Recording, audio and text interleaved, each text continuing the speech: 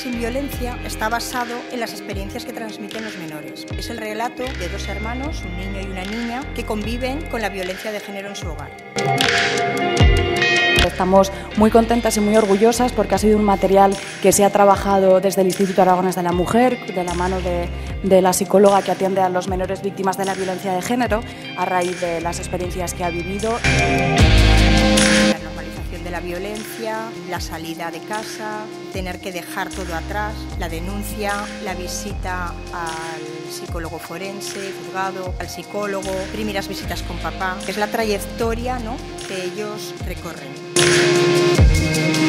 Creemos que hay que prestar especial interés a los menores víctimas de violencia y tenemos que garantizar su seguridad, tenemos que garantizar su reincorporación en la sociedad y por eso apostamos por la edición de este tipo de materiales que además hay muy poquitos que van a servir muy mucho para que eh, estos menores estén acompañados en el proceso de violencia y también que los profesionales y las profesionales que se dedican al trato con menores víctimas de la violencia tengan una buena herramienta.